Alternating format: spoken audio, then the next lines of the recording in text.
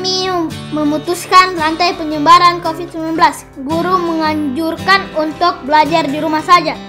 Tugas-tugas dari sekolah menyelesaikan sesuai arahan Bapak Guru.